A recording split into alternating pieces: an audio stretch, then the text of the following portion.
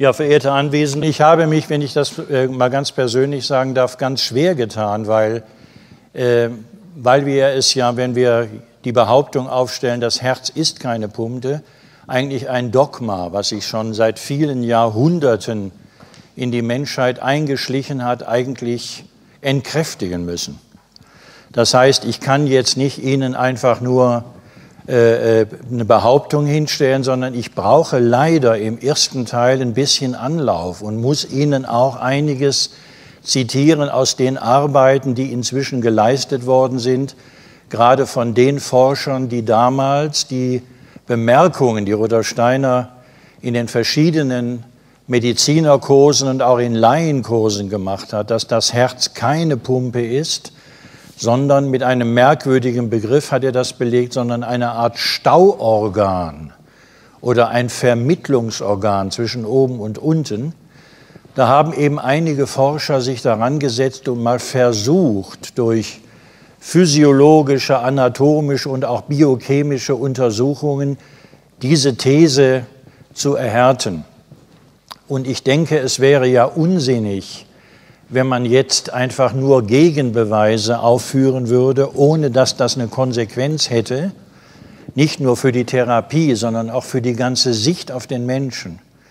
Ich will Ihnen mal diese beiden Forderungen kurz vorstellen, die Steiner damals geprägt hat.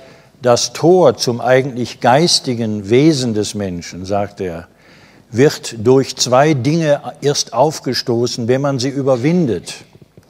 Das erste, würde ich sagen, ist in vieler Beziehung schon äh, auch im naturwissenschaftlichen Bereich eigentlich aufgeweicht worden, nämlich, dass das Herz eine Pumpe ist, also ein mechanisches Modell, was man auf ein lebendiges äh, Organ übertragen hat. Das ist das eine.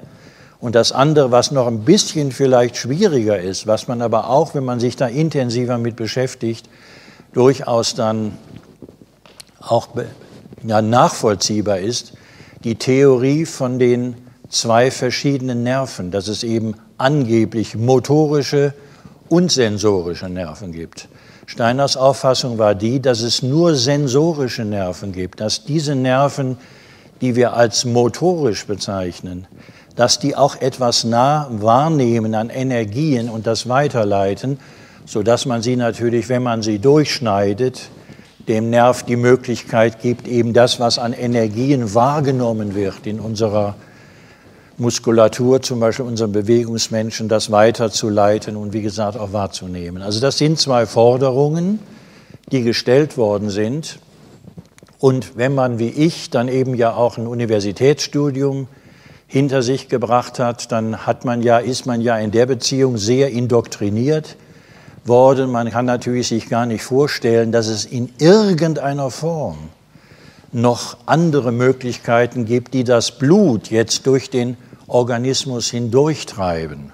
Und Sie haben ja in diesen zwei Tagen sehr viel über Mikrozirkulation und über Herz und Blut gehört. Und ich möchte nur mal ähm, an ein Gespräch anknüpfen, das Goethe mal am Ende seines Lebens mit seinem Sekretär Eckermann gehabt hat und das eigentlich immer noch sehr aktuell ist, nämlich wie gehen die Menschen mit ihren Ergebnissen oder mit ihren Meinungen um, die sie einmal gehabt haben und die sie nicht loslassen wollen.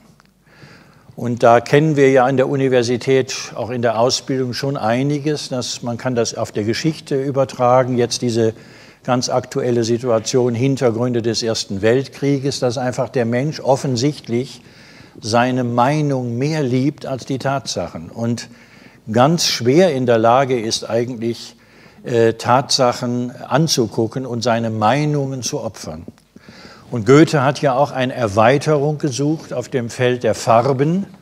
Damals hat man aber eigentlich das nicht wahrgenommen. Goethe hat sich Jahrzehnte mit einer ungeheuren Exaktheit mit dem Gegenstand Farbe, farbige Schatten, psychologische Wirkungen beschäftigt, mit der Metamorphose der Pflanze und in der Universität ist das nicht wahrgenommen worden. Und Eckermann sagte ja, wieso wird immer noch die Newtonschen Farbenlehre gelehrt? Und ich lese das mal vor, weil ich denke, das betrifft auch das, was wir eigentlich mit der Dogmatisierung Herz ist eine Pumpe äh, haben. Wir sprachen von Professoren, die nachdem das Bessere gefunden immer noch die Newtischen Lehre vortragen. Dies ist nicht zu verwundern, sagte Goethe. Solche Leute gehen im Irrtum fort, weil sie ihm ihre Existenz verdanken. Sie müssten umlernen und das wäre eine sehr unbequeme Sache. Sie beweisen auch die Wahrheit nicht und das ist auch keineswegs ihre Absicht, sondern es liegt ihnen bloß daran, ihre Meinung zu beweisen. Deshalb verbergen sie auch alle solche Experimente, wodurch die Wahrheit an den Tag kommen und die Unhaltbarkeit ihrer Lehre sich darleben könnte.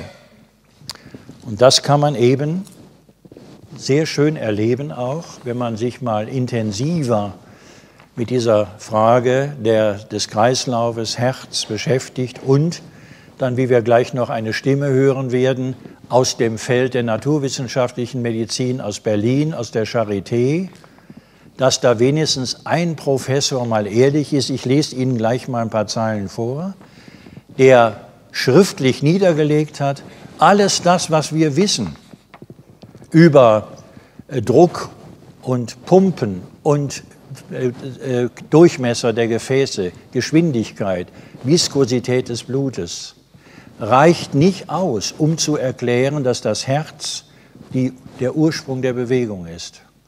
Und dann sagt er wörtlich, wenn wir aber dieses, diese These aufgeben, dann fällt unser ganzes Weltbild zusammen.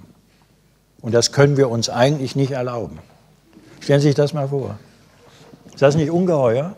Ich habe das mal diesen Artikel mitgebracht. Das muss man sich mal nur um zu sehen, wie schwierig das denn auch ist, für mich als Nicht-Kardiologe, dem sozusagen etwas entgegenzuhalten. Und dann gibt Goethe noch einen Hinweis und der ist auch sehr aktuell. Die Menschen sind überhaupt eigener Natur. Sobald ein See zugefroren ist, das ist jetzt eine Metapher, die er bringt, sobald ein See zugefroren ist, sind sie gleich zu Hunderten darauf und amüsieren sich auf der glatten Oberfläche. Aber wem fällt es ein zu untersuchen, wie tief er ist und welche Arten von Fischen unter dem Eise hin und her schwimmen und so weiter und so fort. Also da sieht man eigentlich, Goethe beschreibt da zwei Dinge. Auf der einen Seite eben liebt man seine Meinung mehr, ist man bereit, auch ein altes Dogma was wir seit dem 17., 18. Jahrhundert haben. Das ist nicht Harvey gewesen, das war eindeutig Descartes, das war eindeutig die Interpretation L'Homme-Maschine. Ja, die Organe sind Maschinen, das Seelische ist parallel dazu, das ist Descartes gewesen. Und eben auf der anderen Seite ist man bereit, auch mal etwas mehr in die Tiefe zu gehen.